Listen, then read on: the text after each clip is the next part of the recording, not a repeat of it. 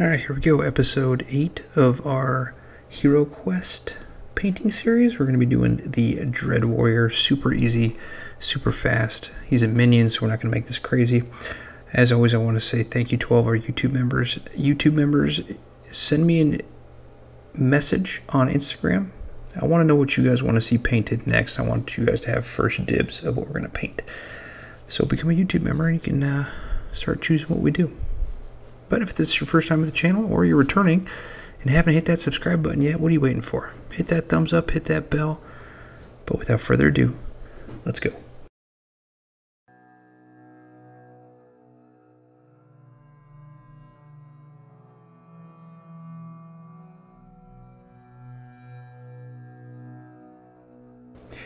As always, we are going to take our miniatures and scrape off those nasty mold lines to prep it first. Um, if you're looking for anything that I use in my videos, just hit the description below where I have a bunch of links and ethics statement. I do take a fraction of a penny for every sale, but it does help the channel, so you're awesome. Then we're going to spray all in black and let it dry.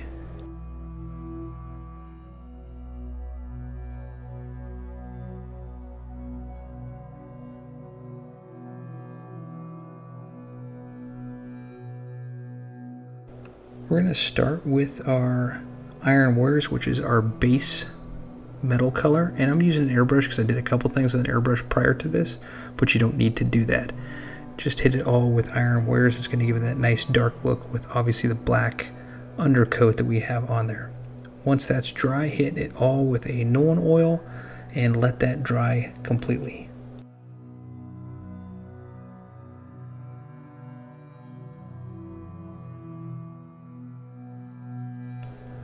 Once it's completely dry, we're going to take some Ironbreaker, and we are really focusing on the raised areas to give this a nice shine, but still a dark look miniature.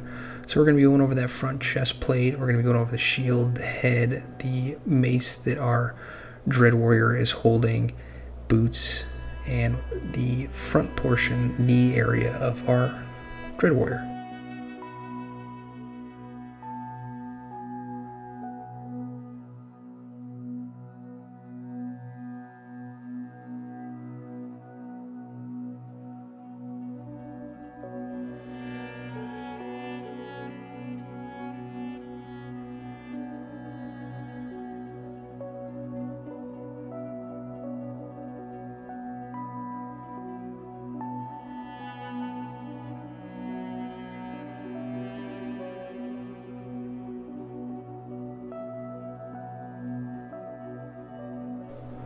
We're going to keep the highlights on this miniature very minimal. Again, it's just a minion. They're going to be in and out of the board. We don't want to make it too complicated. So we're going to take some Blood Angels Red. We're going to put this into the eye sockets. And if you get some on the edges, that's perfectly fine. You want to have some type of OSL or object source lighting, even though it's very minimal. I guess you could not even call it OSL. Then we're going to do this on the front chest plate and the eyes, and then the eyes that are on the shield.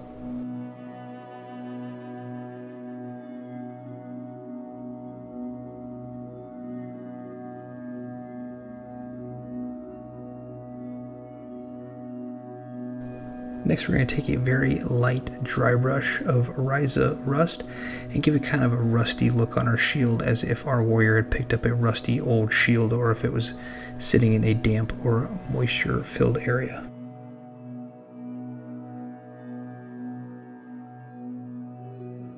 And for the last effect on the shield, we're going to take an old stiff brush, or if you have an old toothbrush, which is probably the best thing to use, take some blood from the blood god, or whatever kind of blood you have, and flick it onto that shield to give it that nice death squirting spatter of blood.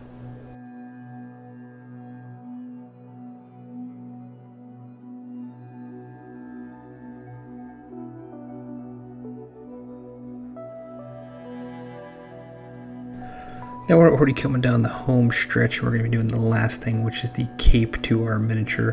And we're going to paint the front and back of this cape with Mephiston red. Just be a little careful because you got to get between the legs and on the side and the front red area that's coming down from the crotch area of our Dread Warrior.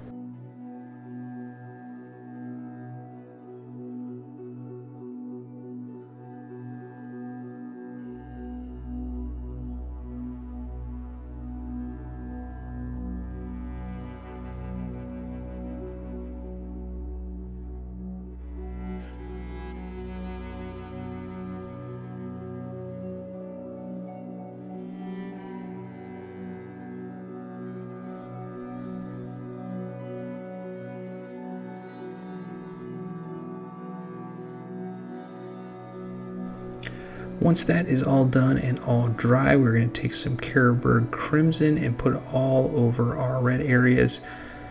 Be a little careful, you don't want to get this onto the metal, but if you do, it's not a big problem. While you're waiting this for this to dry, head over to our Instagram, which is nerd.night. Subscribe over there because I have some very important things I'm going to be announcing, and you do not want to miss it. Maybe some uh, free stuff I'm going to give away. Next, we're going to take after it's dry, a reapplication of Mephiston Red, and we're going to focus on the raised areas of our miniature, leaving the recesses with that little dark Carroburg Crimson wash that we used.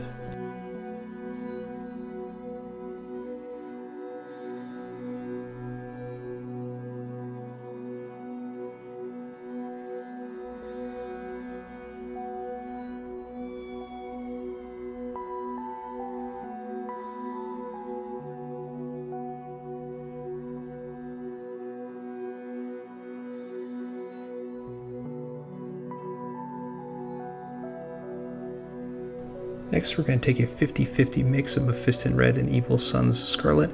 And again, we're just going over the raised areas. And you don't have to do every single raised area. You can just do a couple here and there. Nothing too crazy. Just making that nice contrast from the darker red to the lighter red as we're going to use Evil Sunz Scarlet, the pure version here in a second.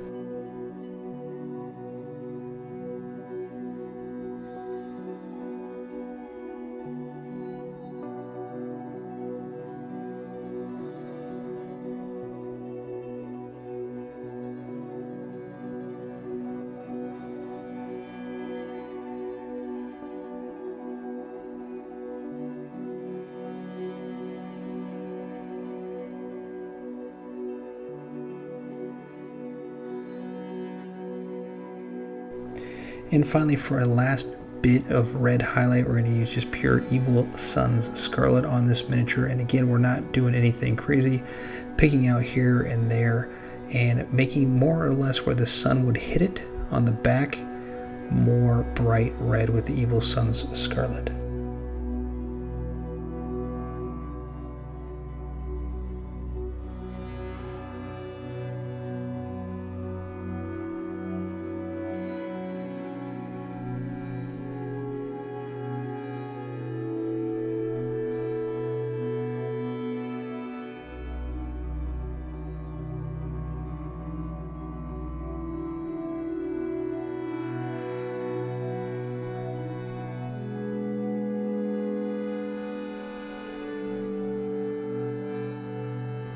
And to finish off this miniature, I'm just going to do some Abaddon black on the rim of the base and in between.